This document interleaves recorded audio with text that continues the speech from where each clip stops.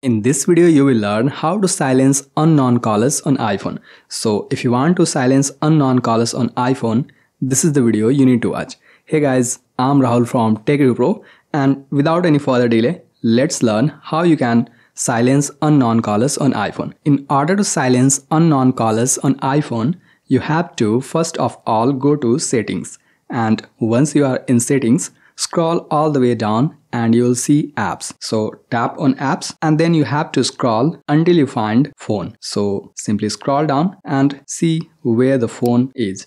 And once you find the phone, tap on that and now we are in the settings for phone and here you have to scroll a bit and you'll see the option to silence unknown callers which is currently off by default so tap on that and here you have to simply toggle it on and once you toggle it on this will simply silence the unknown callers on iPhone. So this is how you can silence unknown callers on iPhone.